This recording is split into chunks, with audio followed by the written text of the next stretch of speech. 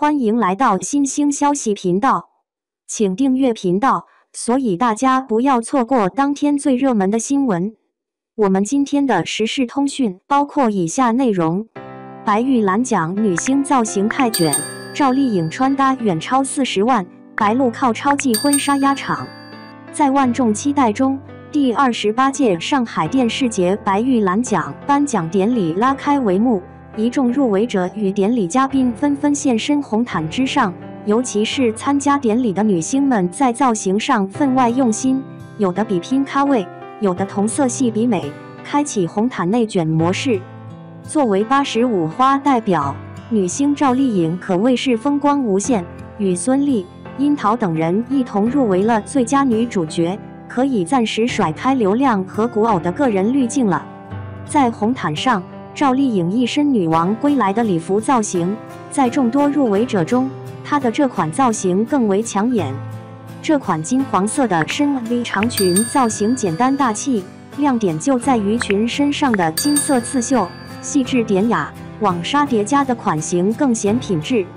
这样的精致礼服自然来头不小，礼服来自国际一线仙女牌的高定系列，该品牌也是圈内一线女星的最爱。但并非人人都能穿上。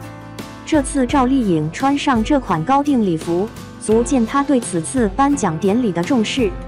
除了礼服够咖位，赵丽颖的珠宝配饰同样价格不菲，从耳环、手镯再到项链，都来自一线奢牌，总价轻松超过四十万元。看到赵丽颖如此下血本，网友们纷纷猜测她的这一身战袍是否另有内涵。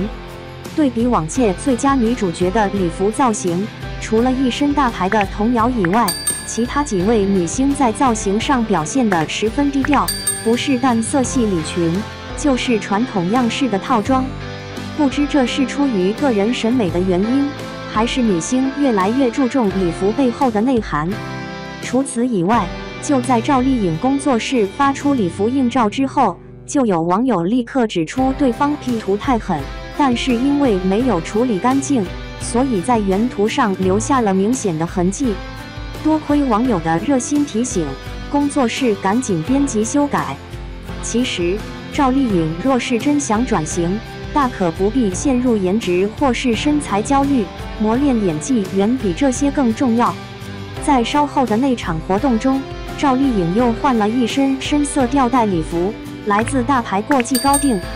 再看看另外几位入围者，女星谭卓穿了一身淡色吊带长裙，虽是大牌高定礼服，但色调和款式都不匹配谭卓的御姐气场。特别是造型团队对于礼服的改良并不成功，反而让这款礼服既不修身也无美感，让这款造型更加的雪上加霜。再加上没有太多珠宝撑场，使谭卓的气场瞬间被压低不少。给人一种穿睡衣逛街的慵懒氛围。女星樱桃也被视为热门的事后人选。她这次穿了一款黑色羽毛抹胸礼服，抹胸和收腰的款型可以秀出樱桃的好身材，再配上抹胸处以及裙摆上的羽毛装饰，也为整款暗色系礼服添加一些亮点。对于这样一款大牌成衣，价位上应该轻松突破四万。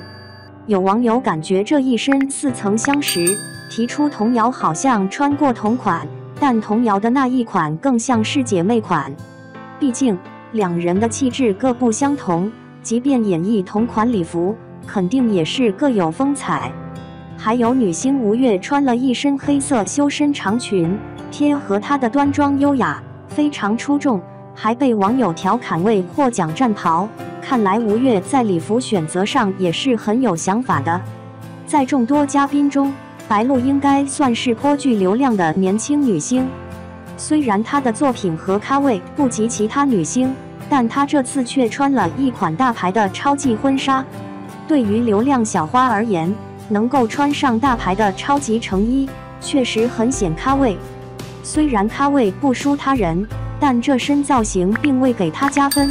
反而被网友吐槽比例不好，没有演绎出礼服原本的气质。要是和全场的白色系礼服相比，白鹿的这身礼服绝不是最吸睛的。看过这些女星的红毯造型，每一位都是极具特色。